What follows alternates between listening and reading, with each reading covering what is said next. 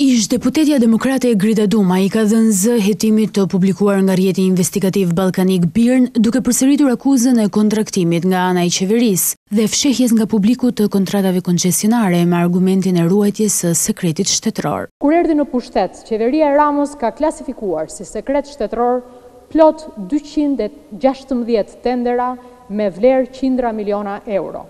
Fare pak prej tyre janë të tillë dhe mund të klasifikohen si sekret. Kështu për shembull mund të ishin ato të Shërbimit Informativ apo të Prokurorisë. Qindra tendera të tjerë që Edi Rama fsheh janë pjesë e luksit qeveritar, janë mirëmbajtje godinash, janë përfshirë brenda mirëmbajtjes Kryeministrisë, shërbimeve qeveritare apo kontrata që kanë të bëjnë me teknologjinë e informacionit. Pjesë e klasifikimit të kontratave publike si sekret është dhe Autoriteti Rrugor Shqiptar. E tillë ishte ajo e Unazës së Madhe nga e cila qeveria u tërhoq pas zbulimit të aferës korruptive, thekson Duma. Është skandaloze që tenderat për rrugën, për mirëmbajtjen, klasifikohen sekret shtetëror.